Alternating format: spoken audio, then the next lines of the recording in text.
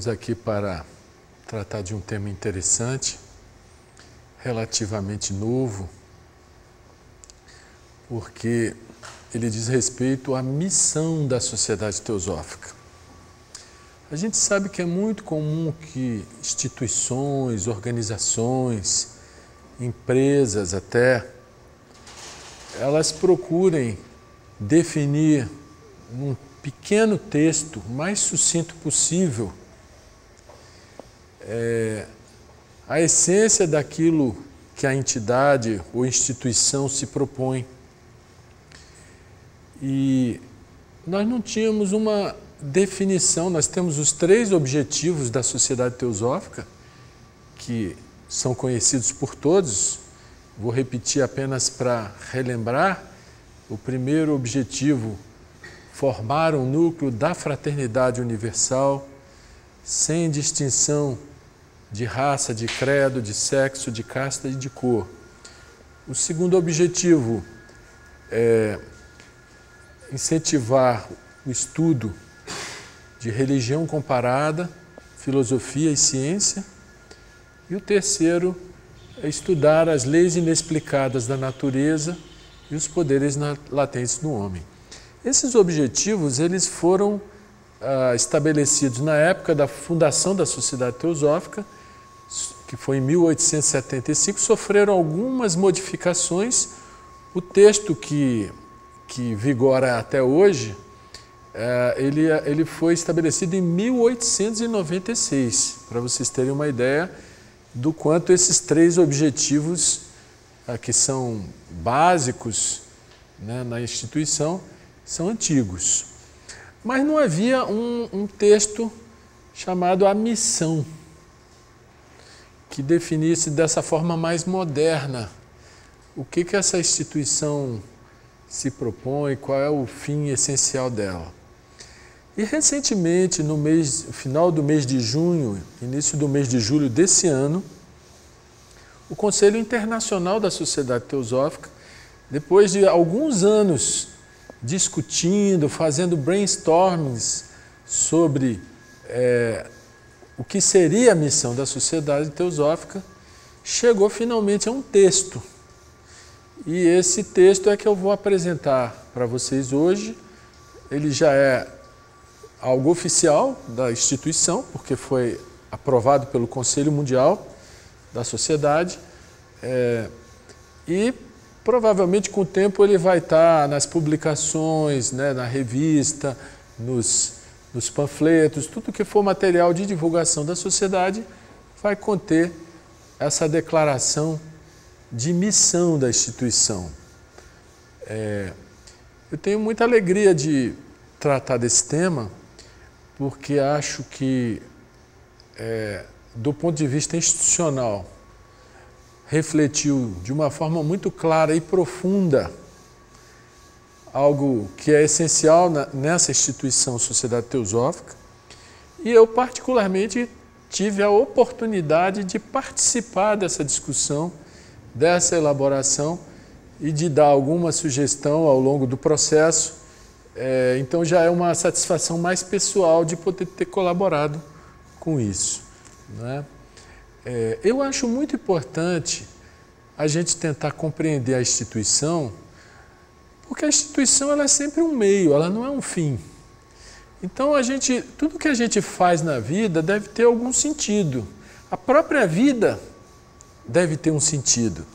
Então quando a gente se interessa por uma instituição, participa do trabalho de uma instituição, a gente deve compreender o mais profundamente o, o, o propósito, né, aquilo que se objetiva realizar através daquilo que a instituição desenvolve. É, existe esse lema que vocês estão vendo, ah, também muito antigo, adotado no início da, da sociedade teosófica, que é não há religião superior à verdade.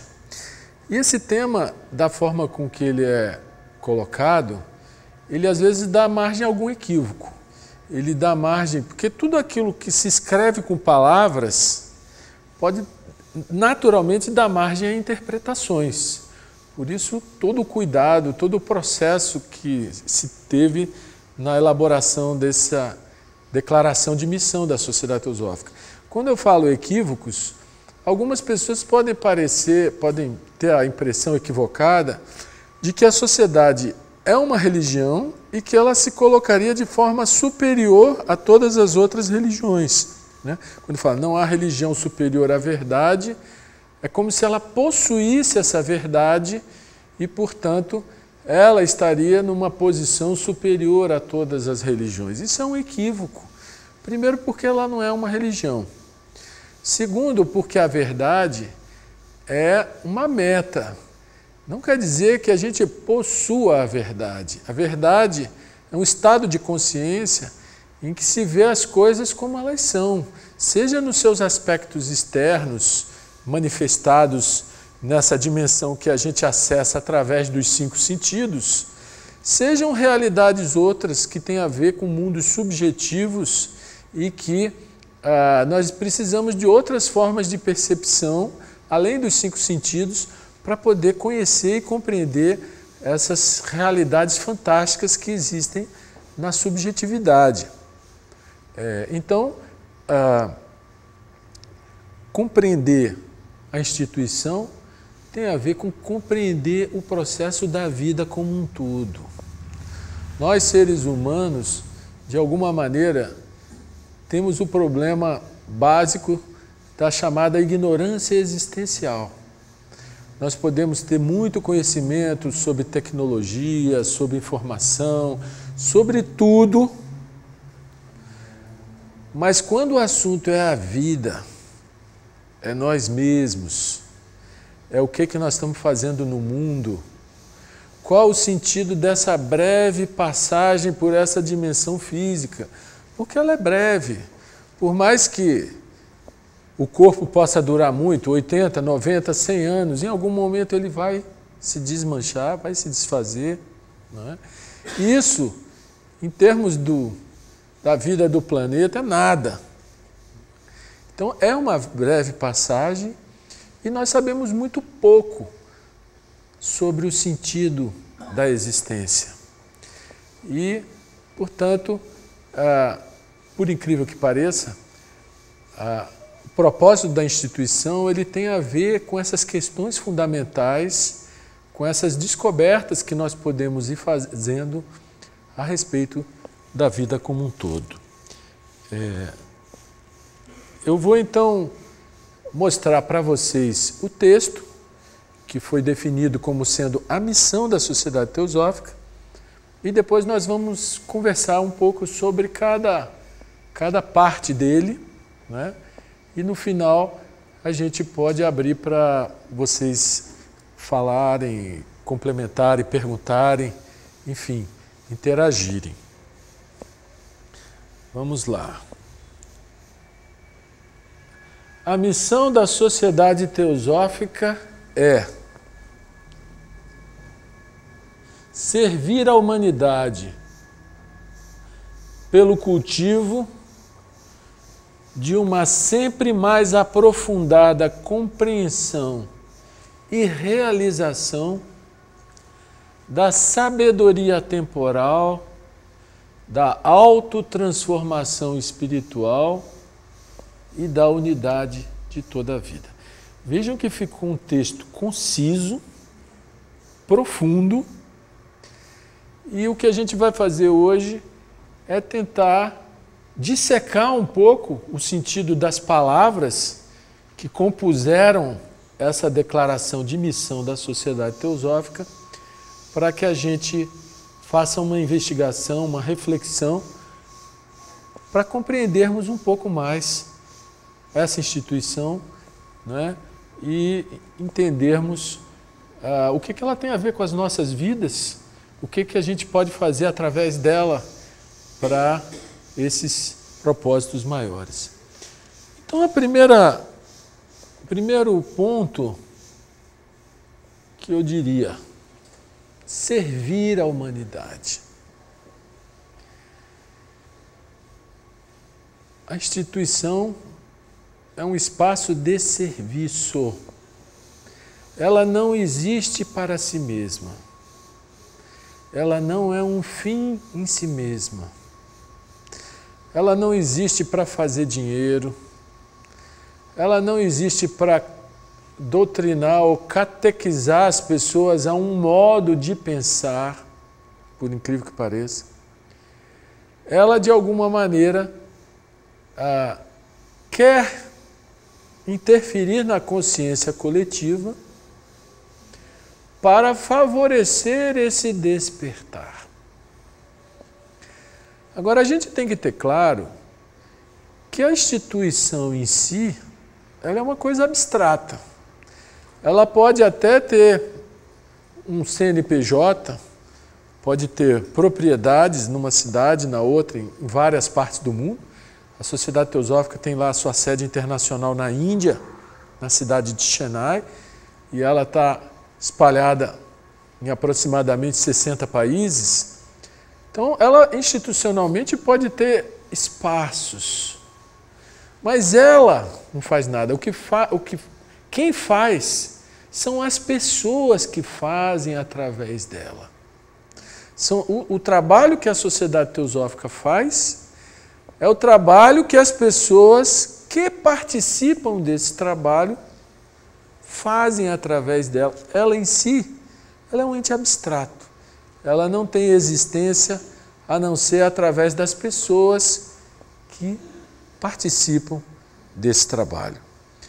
É, um ponto muito importante nessa, nesse primeiro tópico e que diferencia ela profundamente das conhecidas instituições chamadas de religiosas é porque a grande maioria das instituições religiosas elas viraram como que clubes ou partidos ou instituições que trabalham para conquistar fiéis. Quanto mais fiéis elas tiverem, maior o sucesso, o desempenho, a riqueza enfim, ah, muito das instituições religiosas no mundo atual tem a ver com querer moldar a mente do próximo, moldar a mente do próximo a uma determinada fé, a uma determinada crença, a um determinado modo de pensar. E o mais incrível é ver que o mundo continua caótico, com tantas instituições, cada uma tentando, entre aspas, vender o seu peixe, convencer da sua verdade, se achar portadora da verdade e querer convencer o próximo dessa verdade. Isso aí não está dando certo. Não está dando certo porque como eu falei agora há pouco, a verdade não pode ser possuída. Por que, que a verdade não pode ser possuída? Porque a verdade é um estado da consciência que não é enganado, que não é iludido, que não acredita nem desacredita. É um estado da consciência que vê. Enquanto que o estado de crença, ele é um estado mental.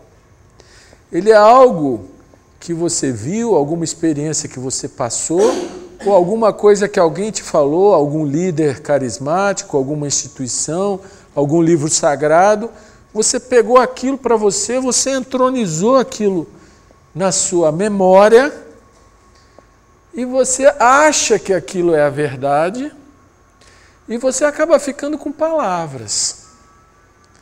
As palavras nunca são a verdade.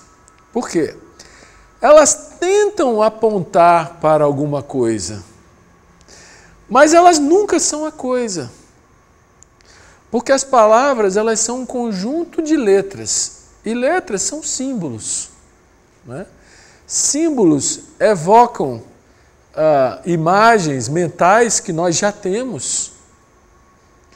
E, portanto, esses símbolos, que são as palavras, tentam apontar para a realidade, sejam realidades físicas, materiais, sejam realidades subjetivas ou espirituais. Né? Até a palavra espiritual é uma palavra difícil de você lidar com ela, porque ela já evoca uma série de conceitos e até de preconceitos que bloqueiam a, a utilização da palavra. Né?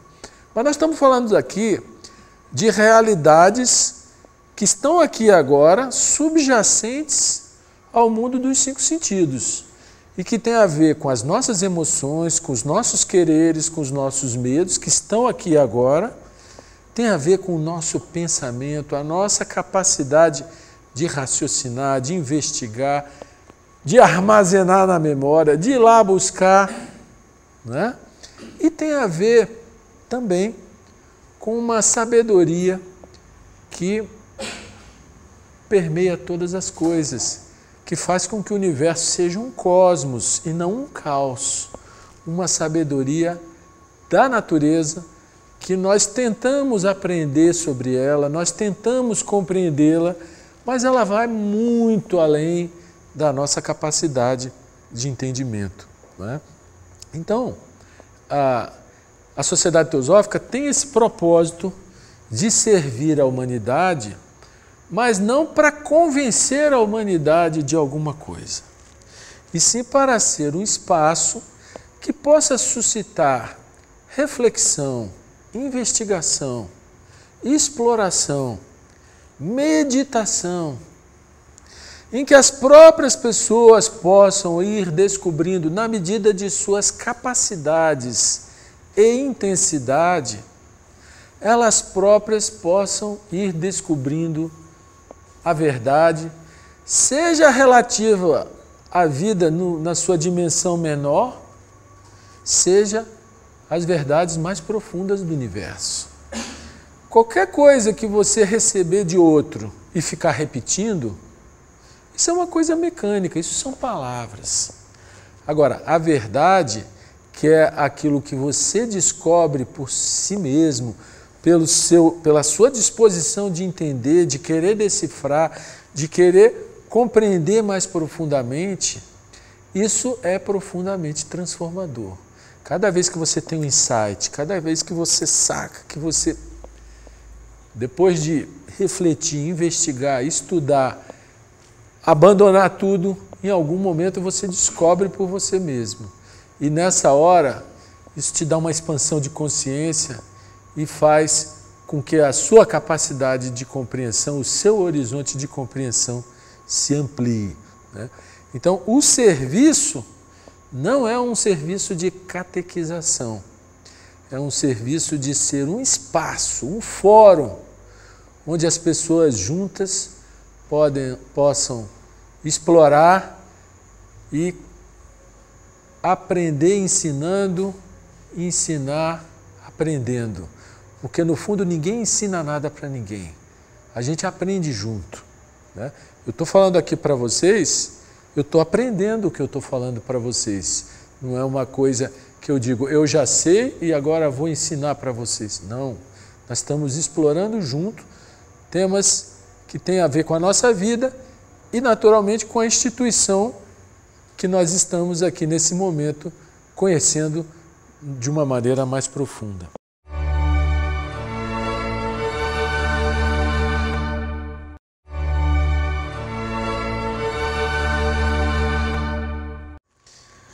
Muito bem, servir a humanidade pelo cultivo de cultivar. Essa é uma palavra interessante e a gente tem que olhar ela numa perspectiva de que é a natureza que produz, não é a gente que produz. Você, quando põe uma sementinha na terra, você aduba a terra, você vai lá, rega aquela planta, aquela sementinha, ela germina. Depois ela cresce mais um pouquinho, se tiver sol, se tiver umidade adequada. você só está favorecendo a natureza. Você não pode pegar a sementinha e com seus dedos produzir a germinação, produzir a plantinha. Você só pode favorecer. E mais, às vezes você faz a sua parte, mas a semente cai numa terra árida, uma terra pobre, sem nutrientes. Às vezes o clima não favorece. Nós estamos tendo aqui em Brasília as primeiras chuvas, depois de um longo período de seca. Né? Hoje mesmo eu estava pensando algumas cidades, alguns, algumas regiões do Nordeste, que ficam às vezes mais de cinco anos sem ter uma chuva. Vocês imaginam o que, que é isso?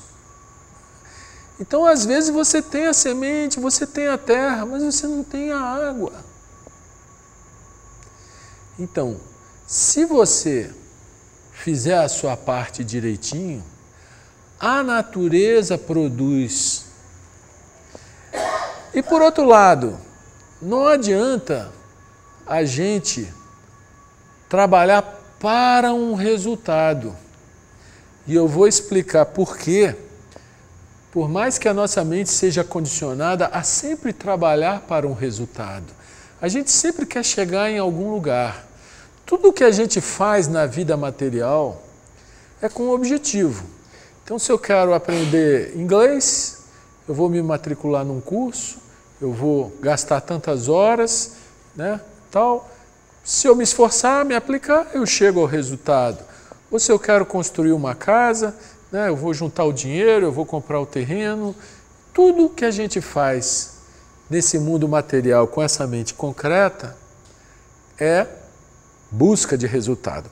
Então, o cultivo, por exemplo, de um agricultor do agronegócio, ele planta visando o resultado, principalmente o lucro. É? Às vezes vem a geada e mata a planta dele, o dinheiro que ele perde todo, é? às vezes acontece. Mas, na natureza, o resultado vem por ela, a gente faz a nossa parte. Então, esse cultivo aqui, ele não é para atingir determinada coisa, e vocês vão ver pela expressão seguinte: cultivo de uma sempre mais aprofundada compreensão e realização. Reparem bem, se não tivesse essa expressão uma sempre mais aprofundada, ficasse só na compreensão, podia dar a impressão que em algum momento você ia atingir. Eu atingi a compreensão, eu sei. E é interessante que o eu sei, ele existe para tudo que é técnico, para tudo que é prático. Mas quando o assunto é existencial, é compreender a vida, compreender a si mesmo, compreender a natureza, o movimento do universo, essa coisa tão vasta, tão rica, tão fantástica, desde o microcosmo, dos átomos, do, das partículas subatômicas, até o movimento dos planetas, das galáxias, compreender essa coisa tão fantástica e gigantesca Aqui não se trata de uma coisa técnica ou prática. É uma coisa que demanda um mergulho mais profundo. Porque nas coisas técnicas e práticas, existem os especialistas, existem os que sabem e os que não sabem. Não é? Se você vai construir uma ponte, você precisa do engenheiro, porque ele sabe quanto de ferro, quanto de concreto tem que pôr ali, senão a ponte vai cair. Se você vai fazer uma cirurgia cardíaca, você precisa do cirurgião ultra especializado que sabe o que ele está fazendo. Então, para tudo que é prático e técnico, existem os que sabem e os que não sabem. Mas quando o assunto é a vida e a existência, aí a gente cai naquela máxima dos gregos, do Sócrates, que dizia: tudo que sei é que nada sei. Esse aí tem a mente aberta para aprender. para descobrir, para investigar, para explorar. E aquele que acha que sabe, ele simplesmente se entulhou de informação, se entulhou de palavras, se entulhou de conceitos, e ele fica prisioneiro na sua própria mente, nos conceitos que ele acumulou, e ele fica repetindo palavras, mas ele próprio não está aprendendo, não está crescendo. Então, vocês conhecem alguma pessoa que é uma biblioteca ambulante? Quando você conhece uma pessoa desse tipo, você nem consegue, você mal consegue conversar com a pessoa. Por quê? Você fala uma coisa, ela já abre um rosário de, ah, mas isso, pá, pá, pá, pá, pá, pá, o autor tal, não sei o quê. Aí você fala outra palavra, pá, pá, pá, pá, pá. O sujeito fica ali naquele labirinto de informações e ele não está aprendendo. Então, o aprender não é acumular informações. Isso aí o computador faz muito melhor do que nós. Você vai no Google, você tem todas as informações. O aprender de que nós estamos falando é uma expansão da nossa própria consciência, de ver por nós mesmos, de compreender por nós mesmos não só a manifestação externa da vida, mas o que há de intrínseco por trás de toda a existência. Isso demanda um trabalho de investigação, de exploração que é sem fim. Sempre vai haver uma mais aprofundada compreensão dessas realidades que subjazem à existência. Vou repetir. Sempre vai haver uma mais aprofundada compreensão dessas realidades que subjazem à existência. E por isso, nessa missão, isso fica claro que não há, não é chegar e acumular informações, seja sobre os livros mais esotéricos, sobre informação oculta, sobre ah, ensinamento de quem quer que seja. Não é acumulação de informação, é compreensão. E a compreensão só a própria pessoa pode fazer por si mesma. É um processo interno que vai acontecendo na consciência da pessoa, em que o nível de compreensão dela vai se ampliando, vai se aprofundando, os seus horizontes de percepção e de compreensão vão se ampliando. Então, isso que a gente chama de literatura teosófica, livros que foram escritos ao longo aí de 140 anos de existência da instituição, alguns autores tinham capacidades que nós normalmente não temos, com clarividência, com outras coisas, ainda assim eles sempre disseram que estavam sujeitos a erros. Não é?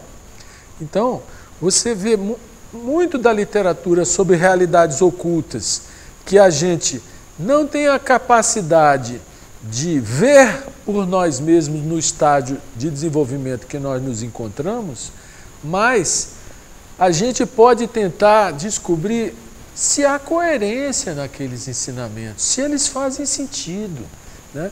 ou se eles são maluquice de quem escreveu. Cada pessoa, quando estiver lendo, explorando, investigando, ela é que tem que ver por si mesma se aquilo faz sentido ou não. Senão ela pode acabar adotando coisas que ela não sabe, repetindo coisas que ela não sabe, e, e aquilo não transforma em nada a vida dela. Né? Ela só muda uns padrões de pensamento, em vez de acreditar em umas coisas, ela acredita em outras, mas a vida dela continua a mesma. Reparem que o texto fala uma sempre mais aprofundada compreensão e realização. O que, que significa esse realização? É que não se trata de uma mera compreensão intelectual. É uma vivência, é uma compreensão vivencial. Isso tem a ver com a palavra teosofia, né? Porque teosofia significa sabedoria. E sabedoria ou é uma coisa vivencial que demanda atitudes sábias, ações sábias. Ou se ela for meramente intelectual, Você cai no, no, no exemplo extremo daquele médico pneumologista que fuma. Sabe todo o mal que o, que o tabaco faz para o seu pulmão, ele sabe intelectualmente aquele o mal que faz. Mas ele não tem a energia, a intensidade, a sabedoria para agir de forma diferente. Então, a grande diferença entre o saber intelectual e o saber vivencial é que o saber intelectual são só ideias. O cara se enche de ideias, mas ele não muda a forma de viver. Enquanto que o saber existencial ele está sempre mudando, ele está sempre evoluindo para um modo de viver mais harmônico, mais refinado, mais respeitoso, mais amoroso, mais inteligente, não no sentido do esperto, mas do inteligente, daquele que sabe como agir para favorecer a harmonia. Porque o universo ele está em harmonia. Vejam que o movimento dos planetas é uma harmonia perfeita. Né? Bastava variar um pouco aí, variava aí uns, uns 50, 100 graus, que é muito pouco no que diz respeito à temperatura do Sol, que o diga o Fernando, que é astrofísico e, e já estudou isso profundamente, tem mestrado sobre manchas solares. O que, que seria 100 graus de variação aí num erro aí do planeta e tal? Acabava com tudo aqui no planeta Terra, não é? E no entanto há uma harmonia perfeita. Só a vida humana que é confusão e desarmonia. Então, quanto mais nós pudermos nos aprofundar nessa sabedoria existencial, que é a expressão seguinte do texto da missão, com outras palavras, em inglês eles colocam ageless wisdom. Ageless é sem idade, sem tempo. Então, uma cada vez mais aprofundada compreensão e realização, portanto, vivência, não é mera teoria, né? da sabedoria temporal. Que sabedoria é essa?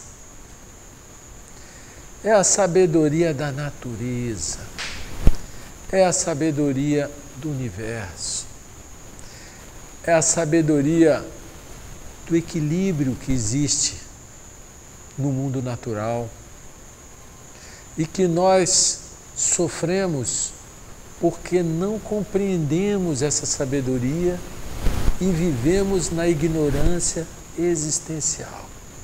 A gente não sabe de onde veio, onde a gente estava antes dos nossos pais nos conceberem.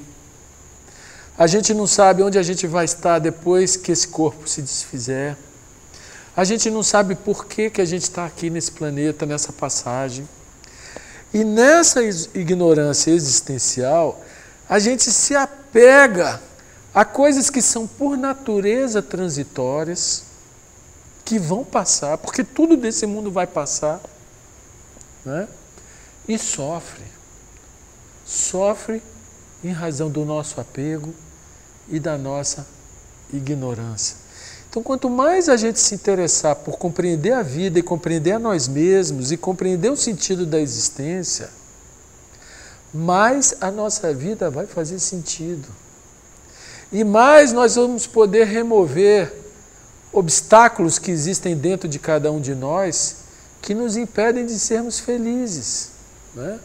Coisas que estão alojadas na nossa estrutura emocional, na nossa estrutura mental, desejos, medos, apegos, ânsias, enfim, tantas coisas que formam a nossa subjetividade e que se nós canalizássemos essa sabedoria que não é nossa, ela é da natureza, a nossa vida se integra a esse movimento da natureza. Né? A vida é um movimento. E quanto mais harmônico e sábio for esse movimento, mais feliz. Então, sabedoria atemporal é um outro nome da palavra teosofia. Teosofia em grego significa Sofia, sabedoria. Theo significa divina. Então, sabedoria divina. A palavra divina remete a conceitos de Deus de todas as religiões que variam muito. E esses conceitos são conceitos, não são a coisa propriamente dita. Então, tentando fugir do aprisionamento que as palavras causam, a gente pode chamar de sabedoria temporal, sabedoria divina, sabedoria do universo, sabedoria das leis que governam o microcosmo ao macrocosmo. Há uma inteligência que quanto mais a ciência explora, estuda, mais os exploradores ficam de queixo caído na sabedoria que existe no corpo humano, o equilíbrio do movimento das células que nascem que morrem. Né? A nossa ligação com o ar, se você parar de respirar 10 minutos, o sistema colapsa, o seu corpo. Né? A sua relação com a água, nosso corpo é 70% água. Então vocês veem que a vida é movimento. E é um movimento que tem uma sabedoria. E cabe a nós decifrarmos essa sabedoria na maior extensão que nós formos capazes, percebendo que ela é infinita que provavelmente a consciência de um sistema solar ela vai ser infinitamente superior à nossa pobre e limitada consciência. Mas que se nós trabalharmos no sentido de explorar, de investigar, de tentar entender, de não nos apegarmos a palavras, de não repetirmos coisas que não sabemos, e estarmos sempre com esse espírito de investigar e de aprender, a nossa consciência vai se ampliando e nós podemos nos tornar um pouquinho mais sábios, não perfeitos, porque a perfeição talvez seja a meta final e que talvez leve algumas eras para chegar. Mas pelo menos nessa nessa passagem, nessa encarnação, a gente possa fazer algo que ah, engrandeça esse ser interno que alimenta aqui a nossa existência. Então, sabedoria temporal é uma outra forma de usar a palavra teosofia. E como eu disse, ela não pertence à sociedade teosófica. Por quê? Porque ela não pertence a ninguém. Ela pertence à natureza, ao universo, e nós somos todos aprendizes diante da magnitude, da beleza e da grandeza que é o movimento da natureza, da vida e do universo como um todo. Continuando. da autotransformação espiritual, ou seja, uma compreensão e realização sempre mais aprofundada da sabedoria sem idade, né? Sabedoria temporal, da autotransformação espiritual. O que que é isso?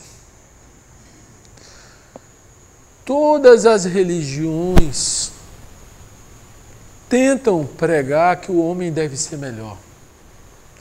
Quando Jesus Cristo fala, amai aos vossos inimigos, amai ao próximo como a ti mesmo, ele está tentando te ensinar a se transformar, a ser menos egoísta e se transformar.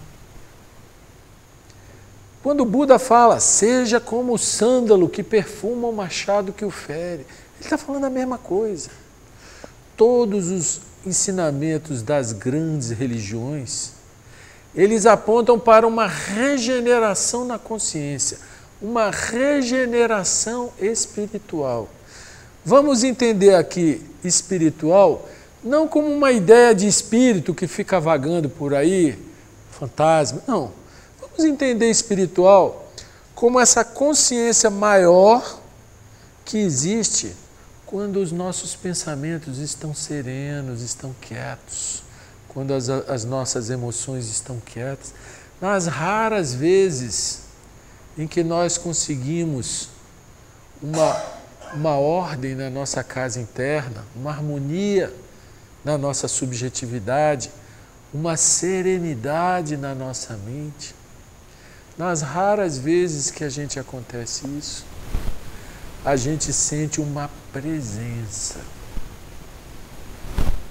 que é inteligente, que é desarmada, que é afeto.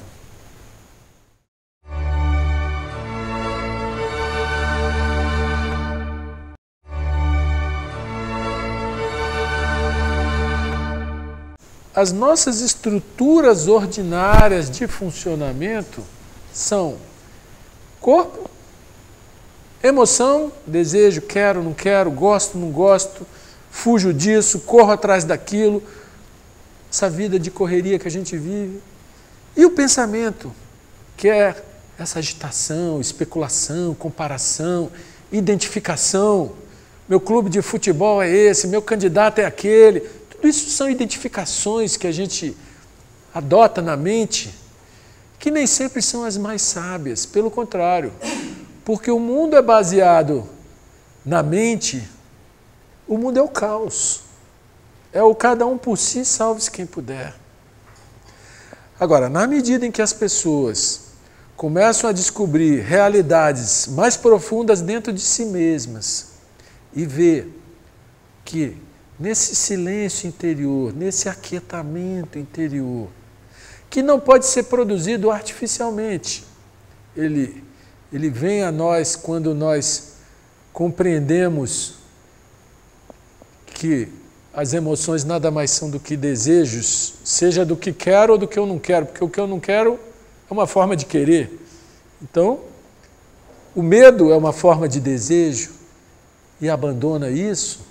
E quando a gente percebe que o pensamento ele está sempre projetando alguma coisa na tela da mente e fugindo do agora, porque o agora, a plena atenção no agora, é silêncio na mente. Então, nessa dimensão, a gente pode chamar de espiritual, podia dar outro nome. O nome é, é símbolo. Né? Essa autotransformação espiritual é a gente melhorar fisicamente a partir de uma vida mais saudável, é a gente melhorar emocionalmente a partir de compreender nossos desejos, medos, ânsias, aversões, né? nós melhorarmos mentalmente, derrubando preconceitos, derrubando ah, egoísmo, eu em primeiro lugar, minha busca de prazer, minha busca de engrandecimento, minha autoimagem, né? querer ser importante, querer ter mais, outra ilusão, né? a ilusão do ter. Ter é poder material. Você pode ter o poder que for, na hora que você morrer vai largar tudo. Então, é um poder transitório. Agora, o verdadeiro poder, como diz aquele livrinho Luz no Caminho, ele fala assim: o único poder que deves aspirar é aquele que o fará parecer nada aos olhos do mundo.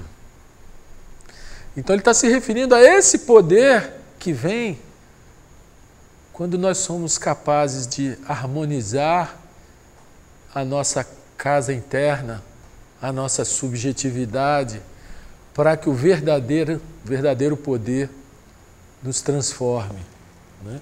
Então, a autotransformação espiritual é um trabalho que a gente faz conosco mesmo, dia a dia, hora a hora, minuto a minuto, um trabalho de observação permanente, de observação isenta e da unidade de toda a vida. Então, eu vou voltar aqui ao texto inteiro.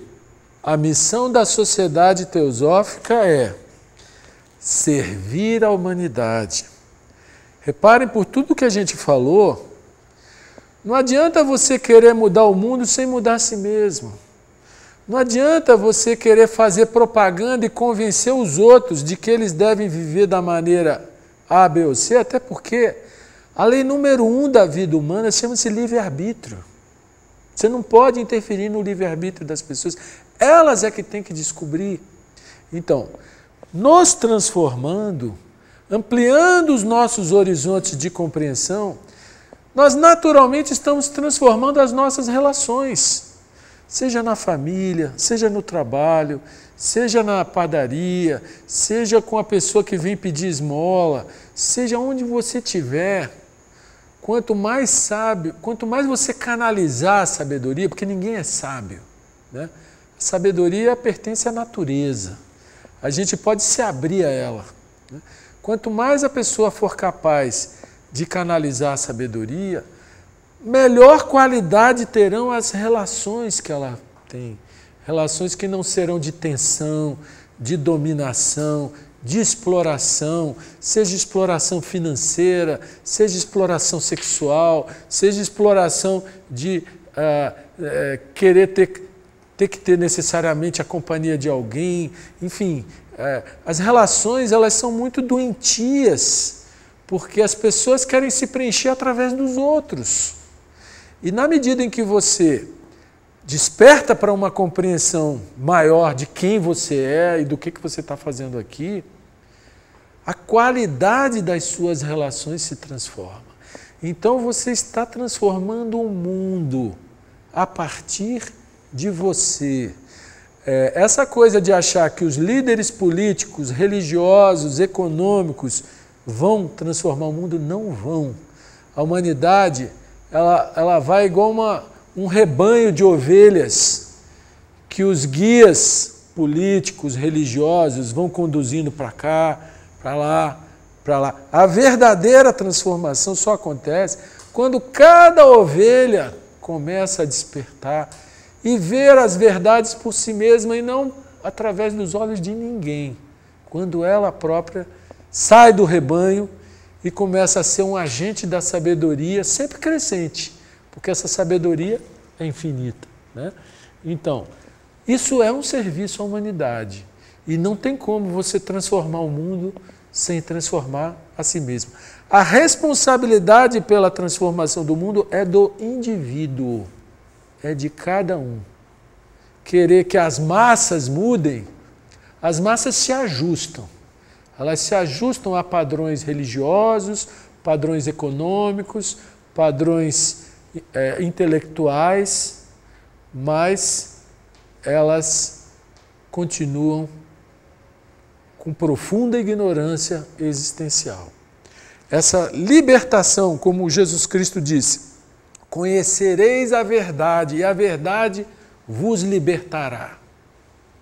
Então, compreender mais a si mesmo, compreender a vida, ver as coisas como elas são, objetiva e subjetivamente, ainda que não seja na dimensão, mas que seja na sua maior e melhor capacidade de compreensão, isso é libertador. Você sempre vai encontrar um estado de consciência mais amplo em que você vai abandonar e você vai poder olhar assim, puxa, olha como eu era um ano atrás, olha como eu era há três anos atrás, olha como eu era cinco anos atrás, você vai ser um ser em transformação. Né? Então, a verdade ela é sempre libertadora. É, como eu disse, esse estudo ele amplia os nossos horizontes de compreensão sempre mais. Não existe limite. Sempre vai haver uma capacidade de compreensão maior. Talvez um dia, se existe essa tal de perfeição, se um dia a gente chegar a uma condição de ser como um Buda ou como um Cristo, através de muitas e muitas e muitas existências, talvez o aprendizado passe a ser de outra forma, né? porque a sabedoria humana eles já tinham, tanto que eles, tudo que eles faziam era o bem, era a harmonia, tanto que são adorados passados dois mil e tantos anos, as pessoas ainda enxergam uma luz nessa escuridão da consciência humana a partir da vida daqueles seres. Não é assim? Então, é, esse serviço ele está relacionado com a consciência de cada um de nós. E esse trabalho ninguém pode fazer por nós mesmos. Só a própria pessoa que pode ir desbravando que pode ir ampliando Aí alguém pode dizer, poxa, mas se só a própria pessoa pode fazer, então para que, que existe a sociedade teosófica? Para que, que nós estamos aqui? Por uma coisa muito simples. Quando várias pessoas tentam compreender juntas, o poder de compreensão aumenta muito. Aumenta muito. Quando eu estou aqui falando para vocês, tentando compreender o que eu estou falando e sentindo que vocês também estão tentando compreender, a minha compreensão aumenta muito mais do que quando eu olho para esse mesmo texto sozinho, por incrível que pareça. Então a instituição Sociedade Teosófica, que não é uma religião, que não é uma igreja, ela é um espaço institucional para o despertar da consciência. E um despertar em dimensões infinitas. Não existe limites para uma consciência sempre mais e mais aprofundadas. E essa, esse despertar necessariamente leva à transformação de si mesmo se tornar uma pessoa mais ética, mais humana, mais justa, mais equilibrada, mais afetuosa. Né? É um florescer de dentro para fora que, se a gente souber cultivar, a natureza vai florescer dentro da gente. Essas realidades de amor, de verdade, de sabedoria, elas vêm a nós quando a gente abre mão das nossas certezas das nossas verdades, quando a gente se permite o benefício da dúvida, não aquela dúvida da descrença, né? mas daquela que nem acredita nem desacredita, mas quer entender, quer compreender. Né? Quando a gente está nesse processo de reflexão, de investigação, volta e meia a ficha cai. Quando a ficha cai, pá, né? a gente sente aquela expansão de consciência e se torna uma pessoa melhor, uma pessoa transformada. Então, essa compreensão e realização também envolve a unidade de toda a vida. Essa unidade de toda a vida talvez seja a parte mais profunda e mais difícil da missão. Por quê? Diziam os antigos que o universo é uno. O que, que é isso? O que, que isso significa? A própria palavra universo, ela contém uni, que é uno, e verso, que é diverso. Como que alguma coisa pode ser una e diversa ao mesmo tempo? É estranho, né? Parece um paradoxo a nossa mente dificilmente consegue entender. Uma forma de tentar entender isso tem a ver com o que se chama Deus, o absoluto, o infinito, o eterno, o atemporal. As palavras nunca, nunca vão descrever essa coisa gigantesca, fantástica, que é a expressão viva do universo. É, segundo esses ensinamentos antigos, assim como nós temos uma subjetividade, que nós estamos aqui no nosso corpo durante um tempo, e aqui dentro existe emoção, existe desejo, existe medo, existem coisas emocionais acontecendo, e aqui dentro também existem pensamentos que vão, vêm, vão, vêm, projetam, imaginam, certo?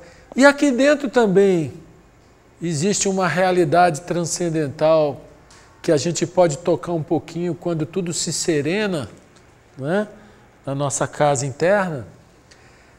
É, segundo esses antigos, o universo também tem uma subjetividade profunda.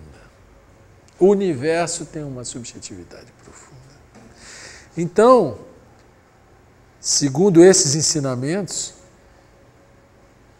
ele é criado e recriado em períodos de trilhões de anos, se for usar a terminologia temporal que nós conhecemos, né? é o que a, a literatura indiana chama dos Brahmanes, é, os dias e as noites de Brahma, ou ah, os pralayas e manvantaras. O manvantara é um período em que o universo se expande e tem a sua vida. O pralaya é o período em que ele se destrói, se recolhe e fica todo reduzido a uma dimensão. Você imagina um nível de subjetividade tão profundo que o universo inteiro está contido em um único ponto. A nossa mente não consegue conceber isso. Mas é a única maneira que eu consigo tentar explicar como uma coisa pode ser una e diversa ao mesmo tempo. Pois bem, segundo esse ensinamento, todos nós partilhamos de uma mesma vida. A vida que alimenta cada um de nós é a mesma vida que alimenta o outro, que alimenta os animais, que alimenta as plantas, que alimenta a natureza como um todo. Né? Isso é uma proposição que cabe a nós explorarmos, investigarmos e tentarmos descobrir se isso faz sentido. Né? É, falar em Deus é muito fácil. Descobrir se existe essa realidade já é um desafio bem maior. Porque as pessoas falam porque a igreja falou, porque alguém falou. Agora, você próprio tocar essa dimensão em que não é você, essa dimensão que alimenta todas as coisas, que alimenta tudo que existe, que você é nada e de alguma maneira fica estarrecido com a grandeza de tudo que existe, né? sai da dimensão do eu para a dimensão do não eu, é uma experiência mística, transformadora, que todas as religiões fazem diferença fazem referência. Mas eu faço diferença entre a religião enquanto ensinamento essencial, né, o ensinamento essencial do Buda, o ensinamento essencial do Cristo, o ensinamento essencial dos grandes líderes religiosos da humanidade e das instituições que se criam, que se apoderam como donas do ensinamento, o que é muito diferente. Né? Então, nesse sentido, a sociedade teosófica ela tem um propósito que todas as religiões têm, que é o despertar da consciência. Mas esse despertar só a própria pessoa pode fazer. Nenhum padre, nenhum pastor, nenhum guru, nenhum mestre vai levar ao despertar. O despertar é o trabalho, é o, o resultado que advém quando a pessoa se interessa por compreender mais profundamente a si mesmo, a vida, o universo e a existência como um todo. Espero ter podido desenvolver o, nosso, o tema da nossa missão, que eu acho que isso ainda vai produzir efeitos em muitos anos, muitas décadas, talvez séculos, né? mas que tenha passado um pouquinho para vocês do que se pretendeu nesse texto, que, a meu ver, captou muito bem o sentido do propósito de existência dessa instituição que eu admiro tanto, que é a Sociedade Teosófica.